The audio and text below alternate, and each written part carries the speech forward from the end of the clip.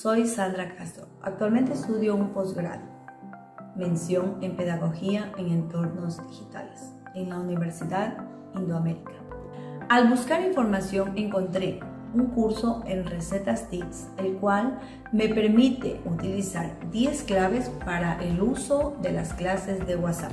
Realicé este curso y empecé a ponerlo en práctica en una clase para que los docentes puedan tener la información en sus manos y sepan que sí funciona WhatsApp como una estrategia pedagógica.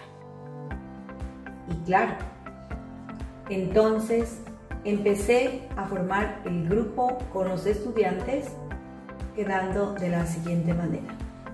En primer lugar, para crear la clase de WhatsApp aprendí que es necesario configurar la aplicación para evitar que el móvil se llene la memoria.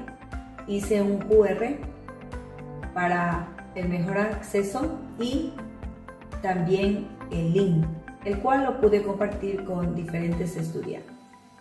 Una vez creado el grupo de WhatsApp, seguí las recomendaciones del curso de recetas en las cuales indica que se debe de iniciar con una bienvenida de manera cordial.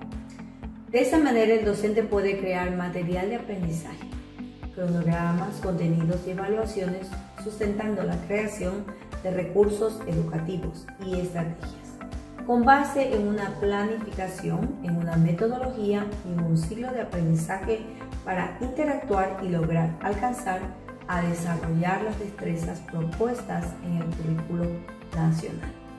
Gracias a la capacitación de recetas TICS tuve la oportunidad de innovar mis conocimientos y el uso que se les puede dar a las redes sociales en la educación. Muchas gracias.